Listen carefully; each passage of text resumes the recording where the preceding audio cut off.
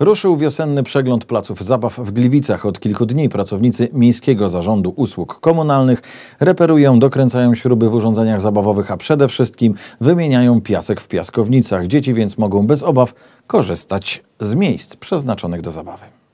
Na placu zabaw przy ulicy Gagarina w Gliwicach od rana trwa wielkie sprzątanie. Robotnicy uwijają się jak mogą. Tu wkręcą śrubkę, tam coś przybiją. Każde urządzenie jest wnikliwie badane.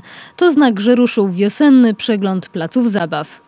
Co najmniej raz w tygodniu m, pracownicy Miejskiego Zarządu Usług Komunalnych starają się odwiedzać co najmniej jeden z tych e, placów zabaw. Poza tym kontrolę nad na przykład piaskownicami sprawuje także Gliwicki Sanepid, który wyrywkowo e, robi takie kontrole czystości piasku. Dlatego też dwa razy w roku ów piasek jest wymieniany. Od kilku dni trwa taka wymiana. Teraz do gliwickich piaskownic e, ponad e, 50, którymi zajmujemy się my, trafi m, 550 ton piasku. Kolejne sprzątanie piaskownic nastąpi podczas wakacji. Czy jednak nie zmienią się one w ciągu kilku dni w kuwetę dla psów?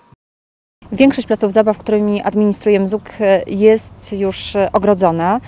Te place zabaw, które nie są ogrodzone, staramy się systematycznie dogradzać, a oprócz tego Miejski Zarząd Usług Komunalnych e, raz w roku przeprowadza konkurs dla wspólnot i spółdzielni.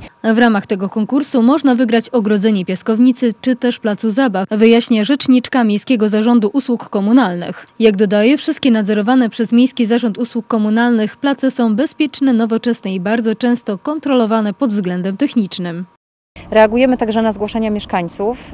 Jeżeli jakaś mama, tata zauważy, że na placu zabaw coś jest nie tak, coś co warto poprawić, prosimy także o takie sygnały. Dodajmy, że osiedlowe place są też miejscami integracji. Pojawiły się na nich urządzenia dostosowane do potrzeb osób niepełnosprawnych. One także są pieczołowicie sprawdzane.